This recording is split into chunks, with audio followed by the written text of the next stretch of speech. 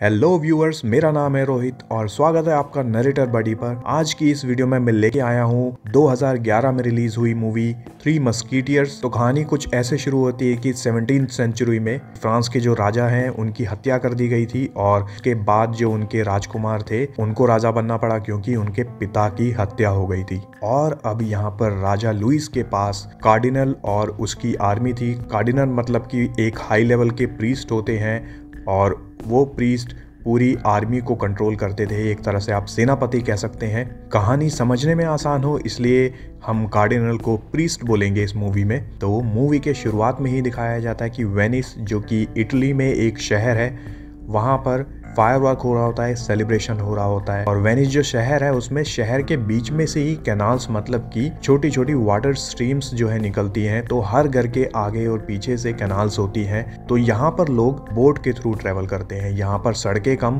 पानी की कैनाल्स ज़्यादा हैं। तो यहाँ पर एक सोल्जर खड़ा होता है, एक पैलेस के बाहर और पहरा दे रहा होता है। तभी पानी के अंदर से एक आदमी निकलता है और वो सोल्जर को मार गिराता है।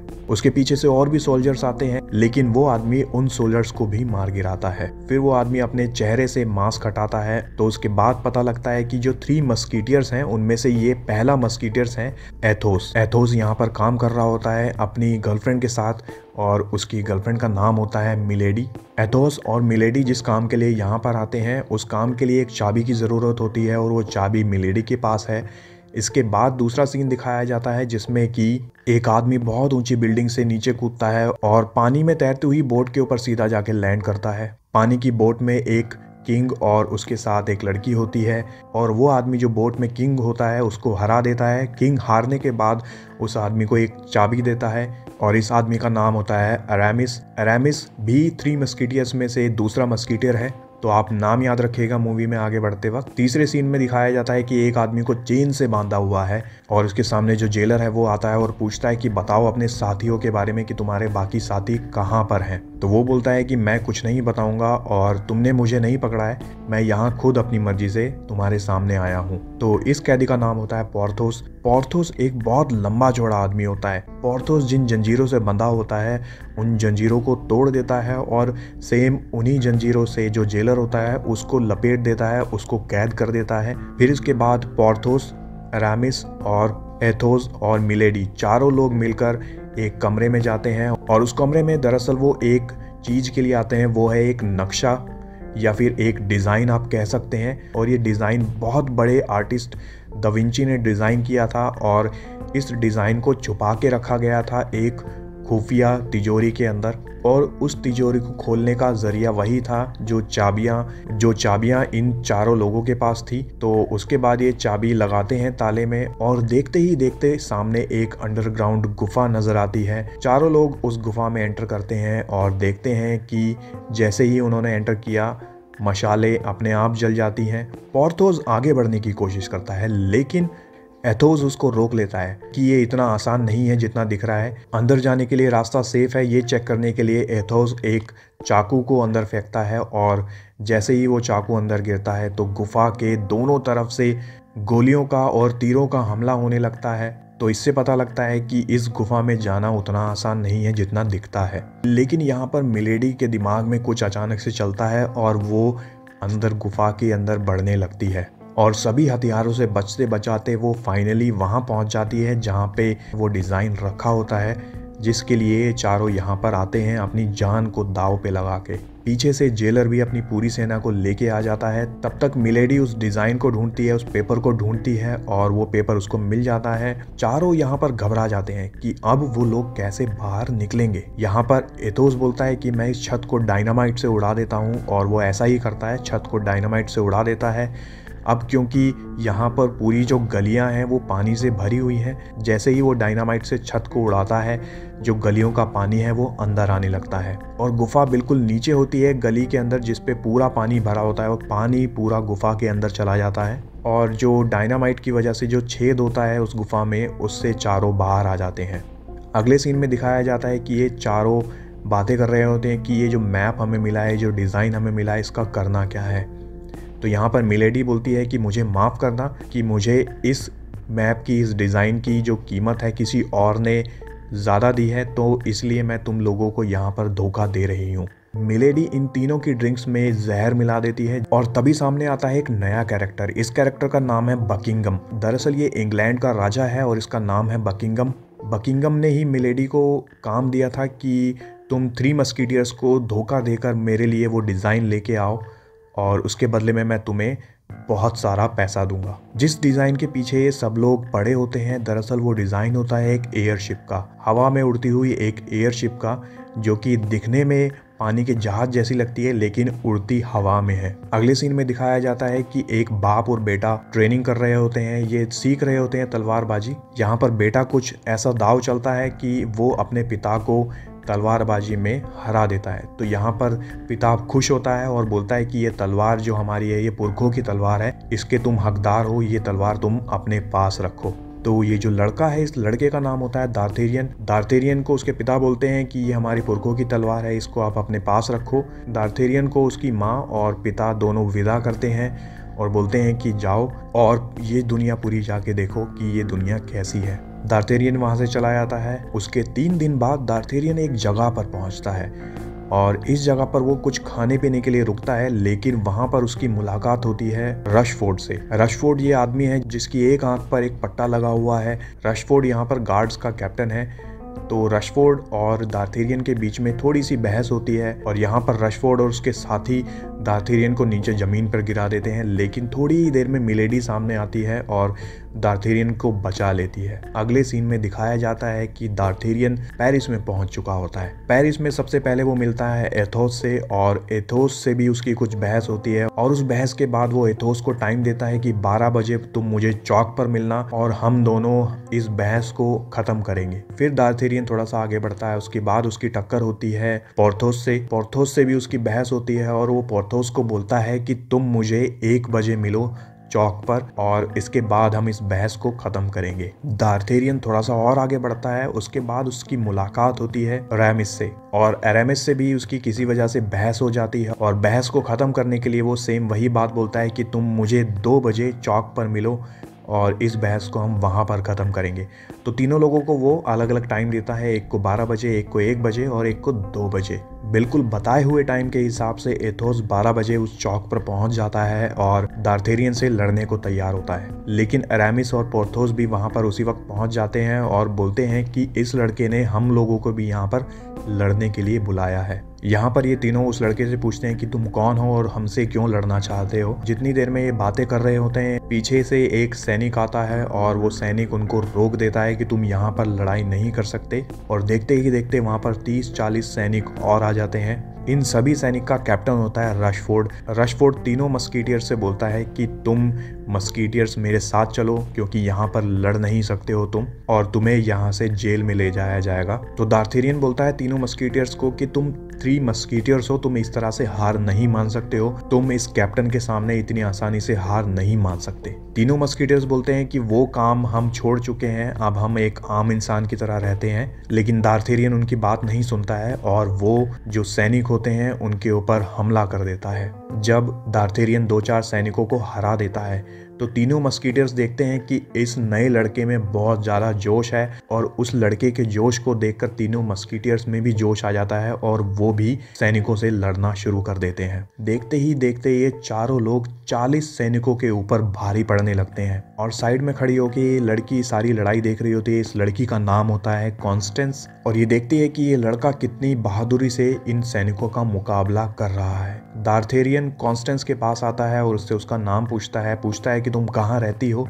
कॉन्स्टेंस बोलती है कि तुम बहुत बहादुर हो और बहुत अच्छे से लड़ते हो तुम। थोड़ी ही देर में सारे सैनिक वहाँ से भाग जाते हैं और सब लोग आसपास के लोग चिल्लाने लगते हैं। थ्री मस्कीटियर्स थ्री मस्कीटियर्स तो यहाँ पर मस्कीटियर्स को बहुत प्राउड फील होता है कि उन्होंने बहुत टाइम बाद तलवार उठाई है और बहुत टाइम बाद उन्होंने लड़ाई की है।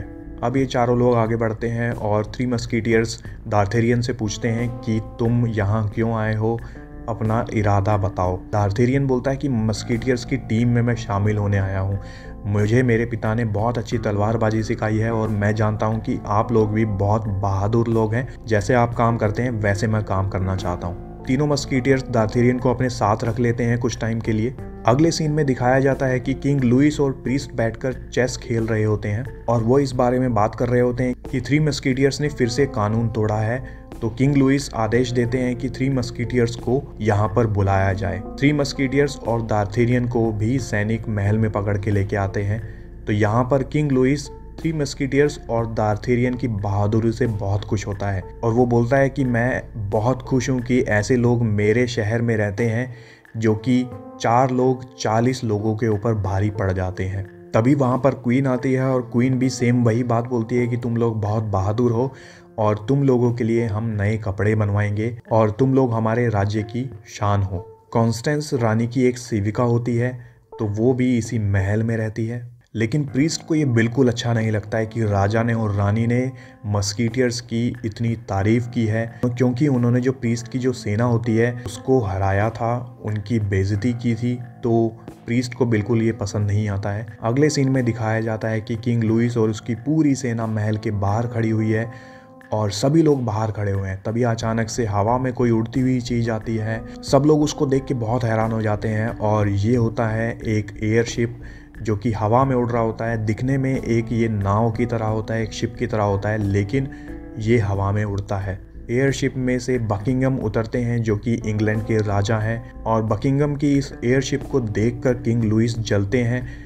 कि ऐसी सेम शिप मेरे पास भी होनी चाहिए। यहाँ पर बकिंगम की नज़र पड़ती है थ्री मस्कीटियर्स और दार्थेरियन के ऊपर। बकिंगम बोलता है कि हम लोग पहले भी मिल चुके हैं और जब हम पहले मिले थे, तब भी तुम इसी तरह से मेरे सामने घुटनों पे झुके हुए थे। तो यहाँ पर एथोस बोलता है कि अगली बार ऐसा नहीं होगा, अगली बार हम घुटनों पे नहीं होंगे। प्रीस्ट यहाँ पर बकिंगम को समझाते हैं कि किस तरह से इंग्लैंड की सेना फ्रांस के ऊपर कब्जा कर सकती है। अगले सीन में दिखाते हैं कि जो मिलेडी है, वो कुछ सैनिकों को मारकर क्वीन के कमरे में घुसती है और क्वीन के कमरे में घुसने के बाद वो कुछ लेटर्स क्वीन के एक ड्रॉर में रख देती है और वो लेटर्स ड्रॉर में रखने के बाद क्वीन का एक डायमंड का हार होता है, वो डायमंड का हार भी चुरा लेती है, क्योंकि यहाँ पर बहुत हाई सिक्योरिटी सिस्टम लगा हुआ था, जिसकी वजह से इसको चुराना बहुत मुश्किल था, लेकिन मिलेडी इस डायमंड के नेकलेस को चुरा लेती है, और ये नेकलेस चुराने के बाद बकिंगम और मिलेडी दोनों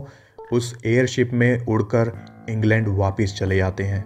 अगले सीन में दिखाया जाता है कि किंग लुइस को वो लेटर्स मिलते हैं, जो कि मिलेडी ने क्वीन के कमरे में रखे थे और वो प्रीस्ट के साथ बात करते हैं कि ये मुझे लेटर्स मिले हैं। और किंग लुइस बोलते हैं कि इस लेटर में लिखा हुआ है कि बकिंगम और क्वीन दोनों आपस में प्यार करते हैं। और क्वीन ने जो उनका हीरो का हार है, वो बकिंगम को दे दिया है अपने प्यार की निशानी की तरह। तो यहाँ पर प्रीस्ट किंग लुइस को सलाह देते हैं कि तुम क्वीन को बोलो कि दो दिन बाद हम एक पार्टी रख रहे हैं, उस पार्टी में तुम्हें वो हार पहनना है। दो दिन बाद एक पार्टी होने वाली है, ये न्यूज़ क्वीन तक पहुँचती है और क्वीन को पता लगता है कि किंग की फरमाइश है कि उनको वो हार पहनना है। क्वीन कॉन्स्टेंस को बोलती है कि जाओ मेरे लिए वो हार लेके आओ। कॉन्स्टेंस उस जगह पर जाती है और देखती है कि हार अपनी जगह पर नहीं है। और वो भाग कर वापस जाती है, क्वीन को बताती है कि वो हार अपनी जगह पर नहीं है। यहाँ पर क्वीन बहुत परेशान हो जाती है और बोलती है कि अब मैं क्या करूँगी? अगर वो हार पार्टी में मैंने नहीं पहना तो यहाँ पर किंग समझेंगे कि वो हार मैंने बकिंगम को दे दिया है। कॉन्स्टेंस रानी से बोलती है कि आपको परेशान होने की ज़रूरत नहीं है। मैं कुछ लोगों को जानती हूँ जो इस हार को आपके लिए वापस लेके आ सकते हैं। कॉन्स्टेंस अंधेरे अंधेरे में ही जाती है और थ्री मस्कीटियर्स के पास जाती है, जहाँ उसको दार्तेरियन फिर से मिलता है और दार्थेरियन को वो पूरी कहानी समझाती है कि किस तरह से उनका हार वहाँ से चोरी हो गया है और किस वजह से उनको वो हार वापस चाहिए। दार्थेरियन और थ्री मस्कीटियर्स क्योंकि ये बात होती है क्वीन की इज़्ज़त की, इसलिए वो इस काम को करने को तैयार हो जाते हैं। तो ये तीनों मस्कीटियर्स और दार्थेरियन यहाँ से निकलने को तैयार होते हैं इंग्लैंड के लिए, लेकिन यहाँ पर रशफोर्ड और उसकी सेना थ्री मस्कीटियर्स और दार्थेरियन का इंतज़ार कर रही होती है ताकि वो यहाँ से बाहर ना जा पाए। तभी कॉन्स्टेंस बोलती है कि मैं इन सब लोगों का ध्यान भटकाती हूँ और तुम लोग यहाँ से निकल जाओ। कॉन्स्टेंस दार्थेरियन की कैप और उसका ओवरकोट लेकर घोड़े पर बैठकर वहाँ से निकल जाती है और सभी लोग सोचते हैं कि घोड़े पर जो जा रहा है इंसान वो दार्थेरियन है, लेकिन असल में वो कॉन्स्टेंस होती है। तो यहाँ से दार्थेरियन और तीनों मस्कीटियर्स शिप में बैठ जाते हैं और यहाँ पर शिप में वो डिस्कस करते हैं कि किस तरह से बकिंगम के पैलेस के अंदर उनको जाना है, क्योंकि बकिंगम पैलेस के चारों तरफ़ सिक्योरिटी गार्ड होते हैं और उसके अंदर घुसना बहुत मुश्किल होता है। तो ये सब लोग प्लान बनाते हैं कि अंदर घुसते वक्त दार्तेरियन बाकी लोगों का ध्यान भटकाएगा और थ्री मस्कीटियर्स उस हार को चुरा लेंगे। दार्थेरियन बकिंगम पैलेस के अंदर घुस जाता है और जो सैनिक होते हैं बकिंगम के, वो दार्थेरियन को चारों तरफ़ से घेर लेते हैं। मिलेडी बकिंगम को बताती है कि अभी यहाँ पर सिर्फ़ दार्थेरियन आया है, बाकी तीनों मस्कीटियर्स भी आसपास ही होंगे। सैनिक दार्थेरियन को पकड़ के लेके आते हैं बकिंगम के सामने। बकिंगम दार्थेरियन से पूछता है कि अपना प्लान बताओ कि तुम किस तरह से यहाँ से बाहर निकलने वाले हो। दार्थेरियन बोलता है, जरा खिड़की से बाहर तो झाको। जैसे ही बकिंगम खिड़की से बाहर झाँकता है तो पता लगता है कि बाहर जो उसका एयरशिप होता है, वो हाईजैक कर लिया है तीनों मस्कीटियर्स ने। इस शिप के ऊपर बहुत सारे हथियार होते हैं। सभी हथियारों को इस्तेमाल करते हैं तीनों मस्कीटियर्स और दार्थेरियन को वहाँ से निकाल ले जाते हैं। दार्थेरियन बताता है कि हीरो का हार वहाँ अंदर नहीं था तो यहाँ पर एथोस बोलता है कि हीरो का हार मिलेडी ने ज़रूर अपने पास ही रखा होगा। हीरो का हार मिलेडी के पास ही होता है। अब क्योंकि दार्थेरियन और थ्री मस्कीटियर्स के पास बकिंगम का एयरशिप है तो वो हवा में उड़ रहे होते हैं और यहाँ पर मिलेडी की घोड़ा गाड़ी को वो हवा में उड़ा लेते हैं और मिलेडी उनके कब्जे में हो जाती है। मिलेडी से वो जो हीरो का हार होता है, वो छीन लेते हैं। अब क्योंकि मूवी की शुरुआत में ही दिखाया गया था कि मिलेडी ने थ्री मस्कीटियर्स को धोखा दिया था और एथोस वो इंसान था जो कि मिलेडी से प्यार करता था। तो एथोस यहाँ पर मिलेडी को गोली मारने के लिए रेडी होता है, लेकिन उससे पहले ही मिलेडी उस एयरशिप से नीचे कूद जाती है। अगले सीन में किंग लुइस वही सेम बात अपनी रानी को याद दिलाने जाता है कि आने वाले दो दिन में एक पार्टी है और उस पार्टी में तुम्हें वही सेम हीरो का हार पहनना है जो कि मैंने तुम्हें दिया था। थ्री मस्किटियर्स और दार्थेरियन वो हीरो का हार लेकर वापस आ ही रहे होते हैं, लेकिन रशफोर्ड अपनी सेना के साथ यहाँ पर दूसरे एयरशिप में आता है और ये एयरशिप थ्री मस्किटियर्स के एयरशिप से भी बहुत बड़ा होता है। रशफोर्ड के कब्जे में होती है कॉन्स्टेंस और रशफोर्ड थ्री मस्किटियर्स को बोलता है कि तुम मुझे वो हीरो का हार वापिस दे दो। और मैं यहाँ से कॉन्स्टेंस को तुम्हें वापस लौटा दूँगा। तो सब लोग यहाँ पर इस एग्रीमेंट पर राज़ी हो जाते हैं और वहाँ से कॉन्स्टेंस को छोड़ दिया जाता है और यहाँ से दार्थेरियन हीरो का हार लेकर रशफोर्ड के पास चला जाता है। रशफोर्ड दार्थेरियन को बोलता है कि तुम बहुत मासूम हो और इतना बोलने के बाद ही रशफोर्ड हमला कर देता है थ्री मस्कीटियर्स के एयरशिप के ऊपर। क्योंकि थ्री मस्कीटियर्स का एयरशिप बहुत छोटा होता है रशफोर्ड के शिप के मुकाबले और उसमें हथियार भी कम होते हैं। इस वजह से यहाँ पर रशफोर्ड का शिप बहुत भारी पड़ रहा होता है थ्री मस्कीटियर्स के शिप के ऊपर। थ्री मस्कीटियर्स अपना शिप लेकर बादलों के अंदर छुप जाते हैं क्योंकि उनका शिप छोटा होता है, इस वजह से वो तेज भी होता है। थ्री मस्कीटियर्स अपना शिप बादलों से निकालते हैं और जब वो बादलों से शिप निकलता है तो उस वक्त वो रस्टोर्ड के शिप के ऊपर होता है। तो यहाँ पर थ्री मस्कीटियर्स को लड़ाई में फ़ायदा होता है और वो अपने सारे हथियार इस्तेमाल करते हैं रशफोर्ड के शिप के ऊपर। रशफोर्ड का शिप बहुत बुरी तरह डैमेज हो जाता है और उसकी हवा जो होती है वो निकलने लगती है। धीरे धीरे वो शिप नीचे जाने लगता है और एक बिल्डिंग से जाके टकरा जाता है और उस बिल्डिंग के ऊपर गिर जाता है। क्योंकि रशफोर्ड का शिप उस बिल्डिंग के ऊपर अटका हुआ है तो थ्री मस्कीटियर्स भी अपना शिप पीछे से लेके आते हैं और रशफोर्ड की शिप के ऊपर फिर से एक टक्कर मारते हैं ताकि वो उस बिल्डिंग से नीचे गिर जाए। लेकिन दोनों ही शिप में से कोई भी शिप नीचे नहीं गिरता है। यहाँ पे आमना सामना होता है रशफोर्ड और दार्थेरियन का।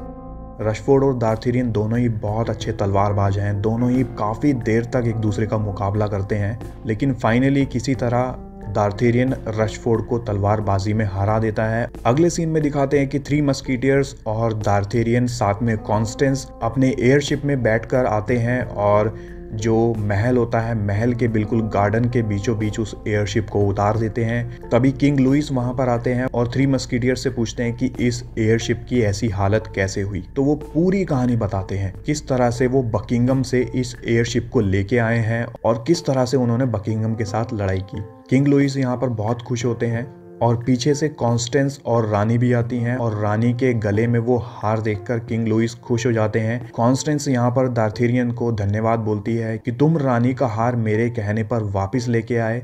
और यहाँ पर रानी की इज़्ज़त बच गई। कॉन्स्टेंस यहाँ पर दार्थेरियन को पसंद करने लगती है और दार्थेरियन तो कॉन्स्टेंस को पहले से ही पसंद करता है। तो एक तरह से मूवी की हैप्पी एंडिंग कहा जा सकता है इसको यहाँ पर। ये मूवी एंड होते होते यहाँ पर इस मूवी का नाम थ्री मस्कीटियर्स ना होकर फोर मस्कीटियर्स कहा जा सकता है। मस्कीटियर्स की टीम में दार्थेरियन शामिल हो गया है। अब अगर आप सोच रहे हैं कि यहाँ पर मूवी खत्म हो गई है तो मूवी यहाँ पर खत्म नहीं हुई है। अगले सीन में दिखाया गया है कि बकिंगम अपनी पूरी इंग्लैंड की सेना फ्रांस की तरफ़ लेके बढ़ रहा होता है। फ्रांस के ऊपर हमला करने के लिए क्योंकि वो थ्री मस्कीटियर से हार चुका होता है, जिसकी वजह से वो बहुत गुस्से में होता है। और मिलेडी जो कि थ्री मस्कीटियर्स के एयरशिप से नीचे कूद गई थी और पानी में गिर गई थी बकिंगम उसको भी पानी से बचा लेता है। तो ये थी पूरी कहानी आज की मूवी की। आप मुझे कमेंट में लिख के बता सकते हैं कि इस मूवी का सबसे अच्छा पार्ट आपको कौन सा लगा? और नरेटर बडी पर आप नेक्स्ट किस मूवी की कहानी देखना चाहते हैं, ये भी आप कमेंट में लिख सकते हैं। अगर ये वीडियो आपको पसंद आई है